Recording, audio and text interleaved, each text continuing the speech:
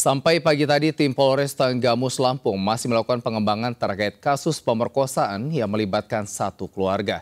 Dari pemeriksaan itu, pelaku JM mengakui sempat berniat menyetubuhi putri kandungnya yang lain.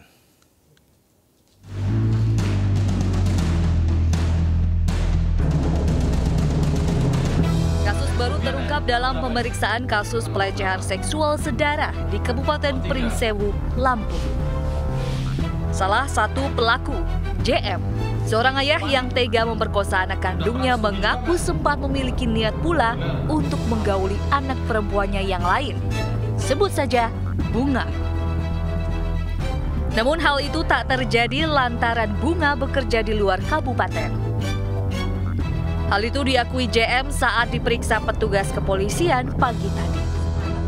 JM adalah seorang ayah dengan empat anak dua laki-laki, SM dan Y, serta dua anak perempuan, Bunga dan AG, yang berkebutuhan khusus.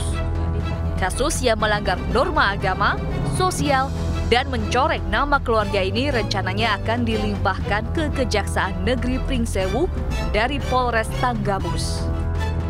Yang disetujui anak yang keberapa itu? Anak nomor berapa? Nomor tiga. Nomor tiga. Nyesel nggak kira-kira Bapak?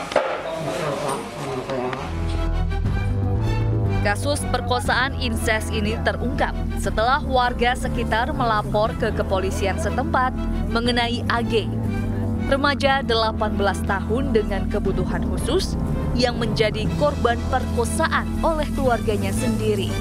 Sejak Agustus 2018, ayah kandung, kakak dan adik kandung laki-lakinya menjadikan AG sebagai pelampiasan hawa nafsu. Dari Kabupaten Pringsewu, Lampung, Indra Siregar, iNews melaporkan.